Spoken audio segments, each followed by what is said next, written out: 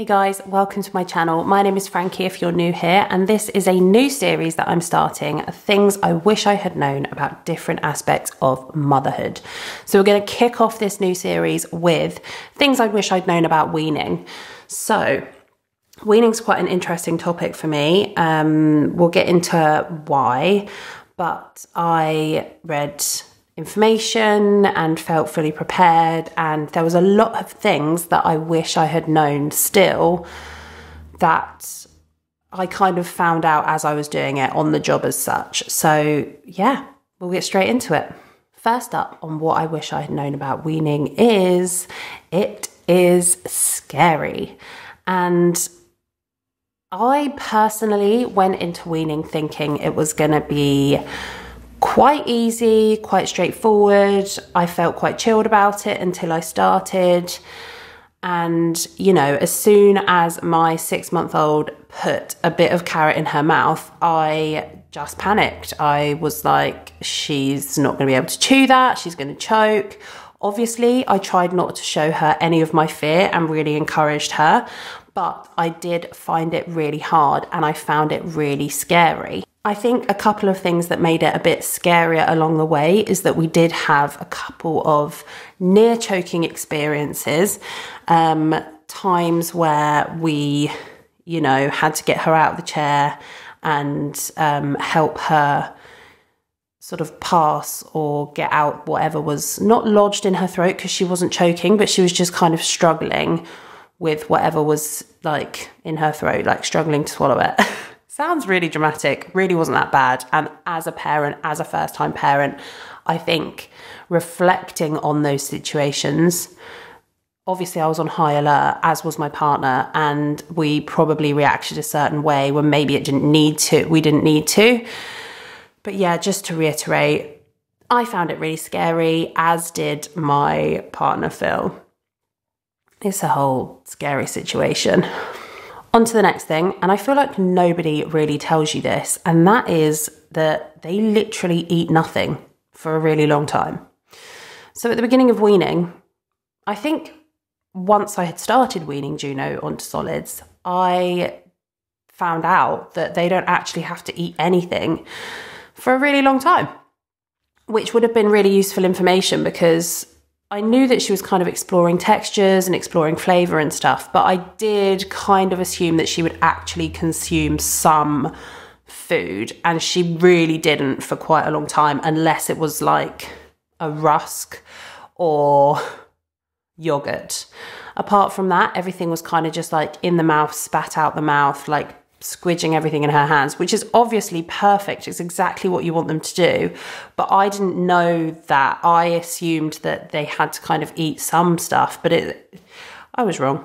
They don't have to consume anything for a really long time. And actually, their milk feeds uh, make up for everything. You don't replace any of their feeds with food for ages. So I could have done with that information when I went into weaning from milk to solids.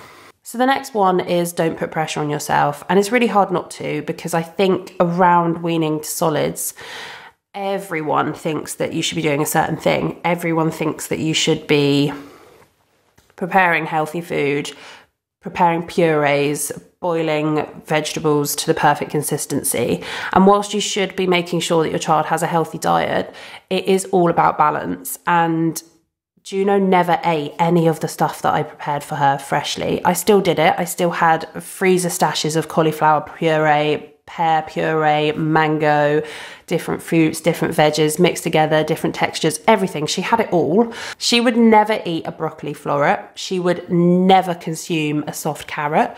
She just played with them.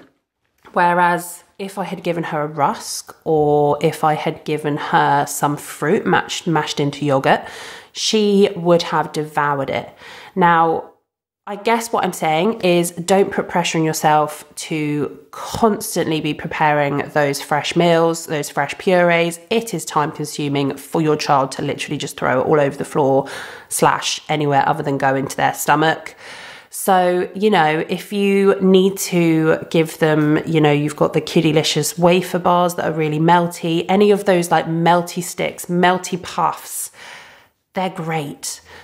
just have backups, things that work for you. And you know, if you've got all the time in the world, then go ahead and prepare all of those fresh foods. But I found after a while that I just didn't have enough time to constantly give her fresh, prepared purees or squidgy veg.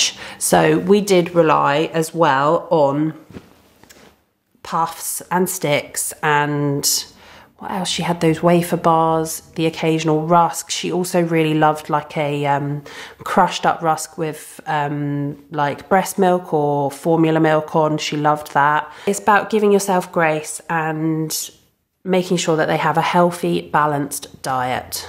This is another huge one that I wish I'd known before I started weaning. And this, it sounds ridiculous, and I feel ridiculous saying it, but your baby won't waste away if they don't eat solids because they literally are getting everything they need, whether you're breastfeeding, formula feeding, however they are getting their calories. They, I think someone recommended that you don't drop any of their feeds until they suggest it to you. And usually they won't do that until they're starting to eat solids.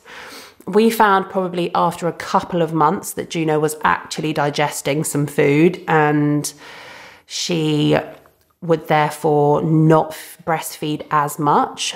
Um, but still, I would say, and this sound, I don't know if this is crazy, but even now, like she's six, nearly 16 months she eats, but she's only really fully taken to it in the last six months. I'd say since she was one, there was like a bit of a turning point, and she actually started having three meals a day, three snacks a day, and two bottles of milk. And it just kind of happened.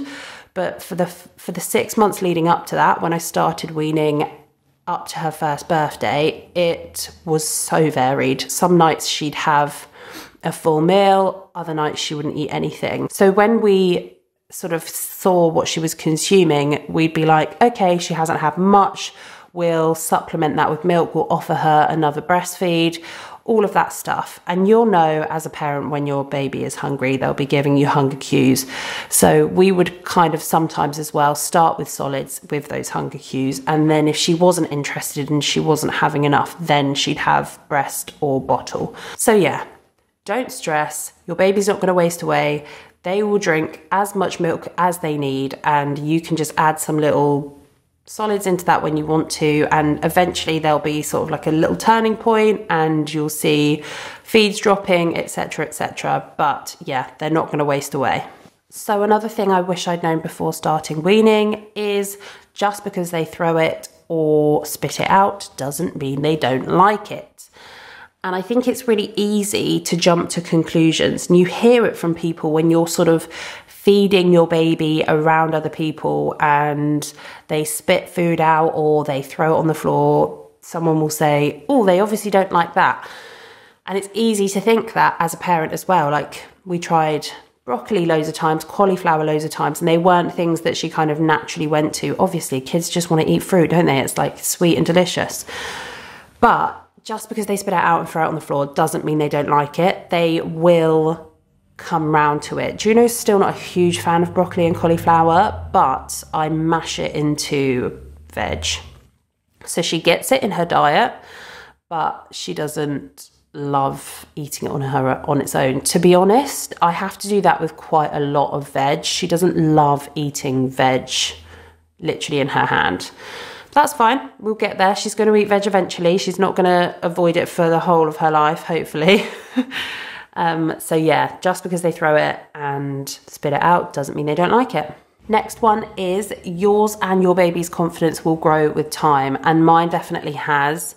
So has my partner Phil's. We've actually had a conversation recently saying she's so predictable now with what she likes and what she doesn't like, and how she feeds, what she you know the portion size that she has she's really quite predictable and even you know she'll run down in the morning first thing and she'll run into the kitchen and pull the drawer which her bowls are in she's like it's breakfast time um, when she's hungry and wants a snack, she goes to the snack drawer. It does get easier with time, and obviously, the more that they can communicate, the more that they can tell you what they want. So, yeah, it is the first six months is a bit of a guessing game from my personal experience, when Juno turned one, we turned a corner and it got a lot easier.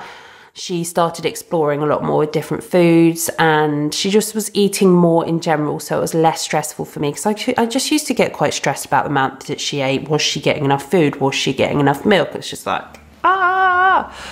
Um, but she's a good weight and she has always been a good weight and the health visitors have never been worried about that. So she's obviously getting enough. It's just, you know, those parent worries that everyone has. And last but definitely not least is my favorite bit of advice and something I wish I had known sooner is food is for fun until they're one. One of my friends actually told me this little nugget of gloriousness, and she is a doctor, so I believe everything she says because she's a medical professional. And she said that food is for fun until they're one. And it really kind of eased the process for me whenever I was getting stressed about her not trying things. Or, I mean, at some points during our weaning process, Juno would literally gag at foods. like, you know, most kids love egg, scrambled egg, fried eggs, like egg fingers, eggy toast. Not Juno, she will not touch it. I have to hide egg in rice or in other meals. And even then, sometimes she's like, I see what you've done here. I'm not going to eat that. And she gags, like with it in, she'll hold it in her hands and literally gag. So that's interesting. Um, but during all of those experiences, once I knew food is for fun until they're one, I just kept repeating that to myself. Just let them have fun. Just let them explore it. It's that's what it's about. And to be honest, I wish I had done that more. And I hope that with my second baby, I'll just be way more relaxed when it comes to weaning. And I mean, I probably won't even have the time to think about it, to be honest. I'll just let them get on with it. Um, but yeah, food is for fun until they're one is a really important piece of information. If that's the only thing you take from this video, then I think that's positive because it's the best one. Those are the things I wish I had known about weaning from milk to solids. We started weaning Juno when she was six months, and we started with baby led weaning and what a mixture of baby led weaning and purees. We didn't want to go solely one way or solely the other. We kind of did a combination of both. I've got an itchy scalp, um, which I loved, and I think it was quite easy on the go. And then we kind of introduced, you know, yogurt, mashed fruit in yogurt, um, all sorts of different textures. She was quite funny with textures for a while. It is a whole journey, and try and enjoy it. I definitely didn't enjoy all of it, but I did enjoy a lot of it. There was ups and downs. So that's it from me today, guys. I hope you've enjoyed this video, the first part of this series. If you have any other parts of motherhood that you'd like me to cover, things I wish I'd known about, sleep training, uh, breastfeeding, all sorts of things, jump in the comments and let me know because I'm going to do one of these videos every month. So Hope you enjoyed it, and I'll see you on next week for my weekly upload. Lots of love. Bye.